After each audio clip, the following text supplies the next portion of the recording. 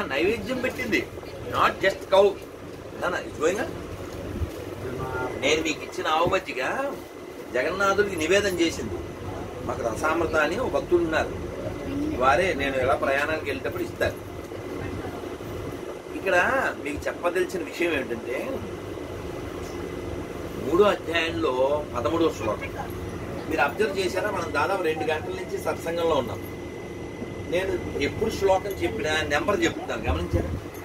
Twelve ట్వెల్త్లో nineteen అన్నా ఫోర్లో twenty two అన్నా. ఐదులో పద్దెనిమిది అన్నా. ఇప్పుడు మూడులో పదమూడు అన్నా. నెంబర్ ఎందుకు చెప్తున్నాను? అది ఎప్పుడైనా మీకు రెఫరెన్స్ ఉంటుందండి మనం రెఫర్ చేస్తే సఫర్ అవ్వం డెఫర్ రాదు. అందుకే నా నోటికి వచ్చింది కాబట్టి మీరు చెప్తున్నా. నోటికి వచ్చినట్టు చెప్పకుండా. ఏ వినండి. ఒక్కసారి మీరు గుర్తుపెట్టుకోండి. ఒక్కసారి చెప్పండి. యజ్ఞశిష్ట సినహ సంతో ముచ్యంతే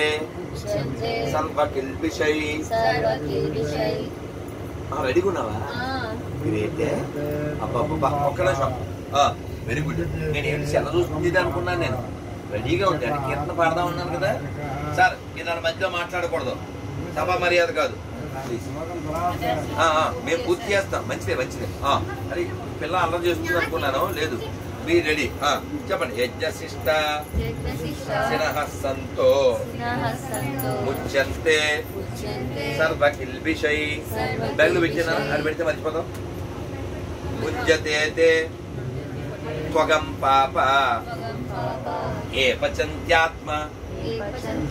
కారణా అన్నాత్ భవంతి. భూతాని పర్జన్య అన్న సంభవ భవతి. పర్జన్యో యజ్ఞకర్మ సముద్భవ. ఈ పదమూడు సారీ మూడో అధ్యాయంలో పన్నెండు పదమూడు పద్నాలుగు ఈ శ్లోకాలు ఏం చెప్తాయంటే. ఆహారం విషయంలో should not eat just like that యజ్ఞశిష్ట శిరస్సంతో ముచ్యంతే సర్వకిల్ విషయం. అంటే యజ్ఞమును అర్పింపబడిన ఆహారం స్వీకరిస్తే అది మనల్ని సర్వ కర్మశాల నుండి విముక్తిని చేస్తుంది. అలా కాకుండా పుంజతేతే త్వగం పాప ఏ పచింత్యాత్మకారణాలు ఎవరైతే తాము తినడం కోసమే ఆహారాన్ని సిద్ధం చేసుకుంటారో వారు తినేది ఆహారం కాదు పాపమే. అందుకని తొమ్మిదో అధ్యాయంలో ఇరవై ఐదులో ఏం అలా చేయకూడదు. శుద్ధి చేయకూడదు అతి పోద్ది మతి సో ఇక్కడ మరి తొమ్మిది ఇరవై ఐదులో ఏం చెప్తారు? అది కూడా చెప్పండి. పత్రం పుష్పం ఫలంతోయం. ఫలం తోయం యో మే భక్త్యా ప్రయచ్చతి. తదహం భక్త్యా భక్త్యా ఉపహృతం అశ్నామి ప్రయతాత్మన ఏమిటి దాని అర్థం. ఆకు కానీ ఒక పువ్వు కానీ నీళ్ళు కానీ అర్పిస్తే అది భక్తుడి ఇష్టం అనమాట దాన్ని నేను ఖచ్చితంగా స్వీకరిస్తాను అది ఎలా ఇవ్వాలి అది చెప్పాలి భక్తితో భక్తితో అక్కడ స్వామి ఏం చెప్పాడంటే మీరు గమనించండి ఫస్ట్ లైన్లో చివర రెండో లైన్లో స్టార్టింగ్ ఎంపసైజ్ అంటాం కదా? నొక్కి చెప్పాడు పత్రం పుష్పం ఫలంతోయం యోమే భక్త్యా ప్రయచ్చది భక్త్యా మళ్ళీ ఇక్కడికి వస్తే తదహం భక్త్యా ఉపహృత అశ్నామి ప్రయోజనం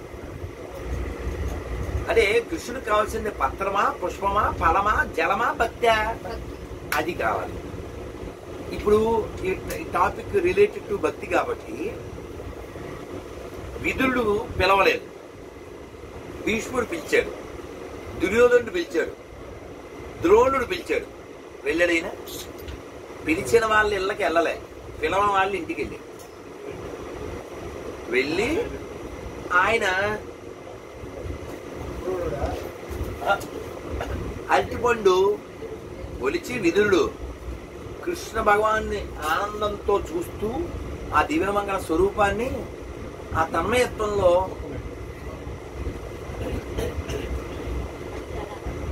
ఆ పండు పడేసి పక్కన పెట్టాడు. అక్కడ దుర్యోధనుడు బావా అంటే తొక్క తీస్తా అని ఆడికెళ్ళి తొక్కలు తినాలి ఇక్కడ తొక్క తీస్తా అని చెప్పి అక్కడ తొక్కలు తినాలి కుంతీదేవికి తెలిసింది. అని వాళ్ళ ఇల్లు వాళ్ళ ఇల్లు అంతా వెతుక్కుంటే వెళ్ళింది. నేను మా మా మేనల్డ్ వచ్చారా మా మేనల్డ్ వచ్చాడా? కృష్ణబాబాండ్ వచ్చారా అని చెప్పి అక్కడ అడిగింది. దుర్యోధన్ ఇంటికాడ భీష్ముడు ఇంటికాడ. దుర్యోధన ఇంటికాడ ఉంటే అబ్బాయి రాలేదు. హాయ్ బాయ్ అని వెళ్ళిపోయాడు ఆయన. రథంలోంచి ఆగలేదు మా ఇంటికాడ. అది విధుడి ఇంటికి వెళ్ళాడు పరిగెత్తుకుంటూ వెళ్ళింది ఆవిడ. వెళ్ళేసరికి తొక్కలు తింటున్నాడు. ఆ, మరి కొంచెం హట్ అవుతారు కదా సరే మేనత్త ఏమిటి అని చెప్పేసి ఏ ఏ, మనిషి వాడు నువ్వు? తొక్కలు పడతావు? అని వస్తాను అనేసి అంటే ఆయన పాపం మళ్ళీ కాన్షియస్లోకి వచ్చాడు. స్పృహలోకి వచ్చి ఇది స్వామి అపరాధం అయిపోయింది అని పండు పెట్టాడు. కృష్ణుడు కూర్చాడు. అదేంటి తొక్కలు తిన్నాడు పండు పెడితే తినాలి కదా. "ఫు" అని కదా. అదన్నమాట. అర్థమైందా? మీరు ఒక్కసారి చెప్పండి. భావగ్రాహి భావగ్రాహి మళ్ళీ చెప్పండి భావగ్రాహి భావగ్రాహి జనార్దన జనార్దన ఇప్పుడు భావగ్రాహి అంటే భావ భావమరుతుడు అనుకోకే భావ అంటే ఏంటి భావములోన మా చంపేసింది ఇది కొట్టనమా కొట్టనమా ఇది మామూలు కాదు ఇది అమ్మా ఆ, ఏం పేరా శావ్య శావ్యగా చెప్పింది అమ్మ పదిహేనో తారీఖు ఏకాదశి అమ్మా? పదిహేను మర్చిపోకండి ఏం? పదిహేనే. అదే ఇవాళ పన్నెండు కాబట్టి అవతల వెళ్దాం మండే. వారాలు చెప్పండి ఘోరం అయిపోతుంది. అందుకే డేట్ చెప్తే ఫిక్స్ అయిపోతాం. అమ్మా నేనైతే సరదాగా ఏం చెప్తా అంటే ఆ, ఎల్లుండి ఏకాశి నన్ను వినాలి. ఎల్లుండి ఏకాశి అంటే అవతల ఎల్లుండి? ఎల్లుండి అవతల ఎల్లుండి ఏకాశి చేయకపోతే నువ్వు రాకాసి చూడక మాకేసి మేము ఆల్రెడీ అలసి పొలకేసి నీకు ఉంటాం పడకేసింది. నాన్న, మనం తొమ్మిదో అధ్యాయం ఇరవై ఆరు శ్లోకం దగ్గర ఉన్నాం. కుంతి దగ్గర ఉన్నాం. కుంతి వెళ్ళి అయ్యయ్యో పండ్లు కదా? అయ్యయ్యో పండ్లు పెట్టకుండా తొక్కలు పెడుతున్నామని చెప్పి ఆవిడ హట్ అయితే ఆయన పండు పెట్టాడు పాపం. స్పృహలోకి వచ్చి. కృష్ణ భగవాన్ వచ్చాడు అంటే భగవంతుడు చూసేది మన వస్తువులా మన లోపల ఉన్న భావమా? భావము. అందుకని ఈ భావం ఏ భావం అయి ఉండాలి? భక్తి భావం. ఎవరు చెప్పారు? భక్తి భావం. కాదు, నువ్వు ఏం చెప్పావు? భక్తి భావం. భక్తి భావం భగవత్ బాగా చెప్పావు. అక్క చెప్పడం పెద్ద గొప్ప ఏం కాదు. నేను చెప్పడం గొప్ప ఏం కాదు. నువ్వు చెప్పడం గొప్ప. భక్తి భావం. ఎందుకంటే భక్తి అనేది వాస్తవానికి చాలా కష్టమైంది. చాలా సులభమైంది కూడా. ఎందుకంటే త్యాగరాజ స్వామి చెప్తారు రామ భక్తి సామ్రాజ్యమే మానవున కబ్బునో. రామ భక్తి సామ్రాజ్య మే మానవున కబ్బునో. మరి అబ్బునో అంటే ఎవరికి పడుతుందో అని. మరి ఎప్పుడు అబ్బుద్ది? ఎప్పుడు మన దగ్గర షడ్వికారములు దొబ్బుతాయో అప్పుడు అది అబ్బుద్ది. అవునా? ఈ మాట కూడా ఆయన చెప్పాడండి. ఏం చెప్పారు? దుడుకు గల నన్నే దొర కొడుకు బ్రోతురా. దుడుకంటే ఏంట్రా? కదా? త్యాగరాజ స్వామి వారు వారిని అలా భావించుకుంటూ దుడుకు గల నన్నే దొర కొడుకు బ్రోతునా. అటు చాలా వివరంగా చెప్పు అందులో చెప్తారు. ఇక్కడ మనందరికీ దుడుకుందా లేదా? దుడుకు అంటే ఏంటే కాదు. ఏయ్ నేను ఎవడో తెలుసా? అంటుంటా కదా. మనం దీన్ని చూసుకుని ఏదేదో మాట్లాడుతుంటాం. దీన్ని చూసి ఏదేదో మాట్లాడుతుంటాం. ఇందాక చాగంటి గారు ధర్మము అనే టాపిక్ మీద నిన్న రాత్రి నుంచి ఇవాళ మూడు సార్లు విన్నాను. మూడు సార్లు విన్నాను. ధర్మాన్ని మనం నిర్వర్తించకపోయినా పట్టుకోకపోయినా తెలియడం వల్ల ప్రయోజనం లేదు. తెలియడం అంటే పేపర్ మీద లడ్డూ రాసిన ఆకడమే పేపర్ మీద లడ్డూ రాసిన ఆకితే నోరు తీగ అవ్వదు కదా రావణాసుడికి ధర్మం తెలుసు దుర్యోధనాదుడికి ధర్మం తెలుసు. ధర్మం తెలియడం ఉపకారం కాదు. తెలిసింది పాటించాలి. ఎక్కడ ఏ ధర్మం మనం ప్రవర్తించాలో అది ప్రవర్తించడం. ఆయన ఒక ఉదాహరణ ఇచ్చారు. ఎవరో ఒక ఆవిడ వచ్చి ఆవిడ ఒక్కసారి మా ఇంటికి రండి. మా ఆయన ఏదో పెద్ద ఆఫీసర్ అంట దేవాలయ శాఖ. మిమ్మల్ని చూడాలంటున్నారు అందంట. అంటే ఆయన వెళ్ళారు. వెళ్తే ఒక రూములోకి తీసుకెళ్ళారు. అక్కడ భయంకరమైన కొంపు అంట చలికొంపు వాసన దుర్గంధం. ఆవిడ పిలిచిందంట. ఎవరి కోటేశ్వరరావు గారు వచ్చారు. అతను తల తిప్పట్లే. ఎందుకు తిప్పట్లేదంటే అతను మనలో లేడు. మలమూత్రాలు అక్కడే విడిచిపెట్టున్నాడు యాభై వేలు ఇస్తే కూడా ఓ పని మనిషి వచ్చి చేసే పరిస్థితి లేదు. పెద్ద ఆఫీసర్ ఇది ఎందుకు చెప్పారు చాగంటి గారు అంటే రావణాసుడితో సీతమ్మ వారు చెప్పారు. నువ్వు పొగరెక్కి కొట్టుకుంటున్నావు. అన్నీ బాగున్నప్పుడు ఇలా ఉండడం పెద్ద గొప్ప విషయం ఏం కాదు. కానీ చిత్త చివర ఒక రోజు వస్తుంది. జాగ్రత్తగా ఉండాలి. మీరు రాయబారానికి వచ్చినప్పుడు కృష్ణ భగవానుడు చత్తురు చత్తురు నొత్తునని గట్టిగా బలగుద్ది చెప్తాడు. మీరు రెచ్చిపోతున్నారు కదరా చచ్చిపోతారా అని ఒక్కడును రాడు అని గట్టిగా చెప్తాడు. మీరు చస్తురు చస్తారని చెప్పాడు మనం ఆ మహాభారతాన్ని కానీ రామాయణాన్ని కానీ అన్వయం చేసుకుంటే జీవితంలో సమన్వయం చాలా బాగుంటుంది. మనం తెలియ మీకు మళ్ళీ మళ్ళీ అదే చెప్తున్నా మీరు ఒక యాభై స్వీట్లు పేర్లు చెప్పినంత మాత్రం నోరు తీయగవదు. వంద స్వీట్లు పేర్లు కాగితం మీద రాసి నాకినా నోరు తీయగవదు. మరి ఇప్పుడు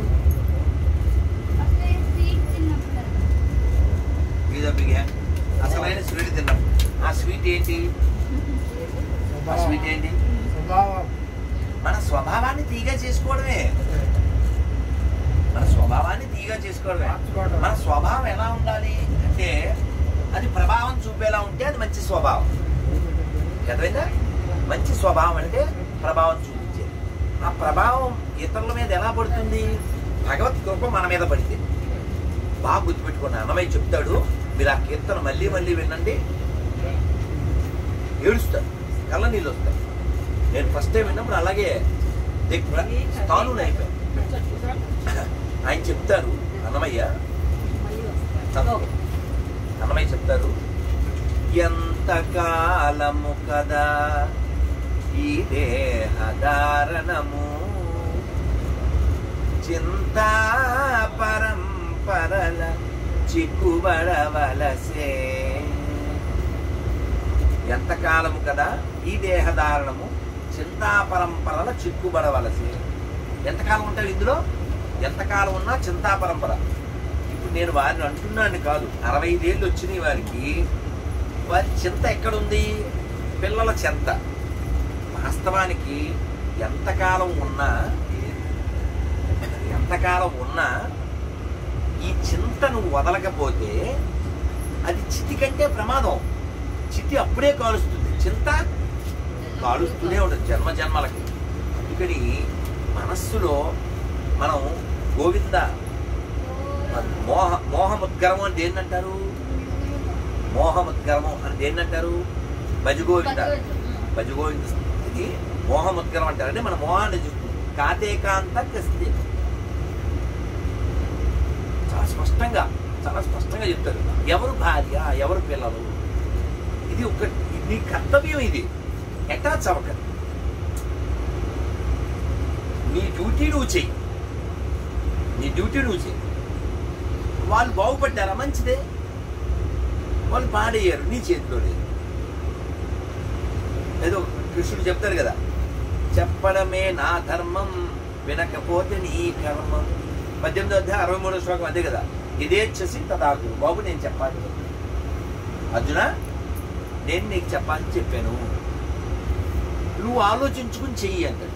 స్వామి, ఏయ్, ఆ మోహంలో అమ్మ, నుంచి ఆ మోహంలో నుంచే కదా ఈ పిల్లలు వచ్చారు. అరవై ఐదు వచ్చినాయి. నూట ఇరవై ఐదు వచ్చినా ఆ. మోహం వదలాలి. ఆ మోహంలో నుంచే పిల్లలు పుట్టుకొచ్చారు. ఆ మోహం వదలాలిగా? అసలు ఆ మోహం?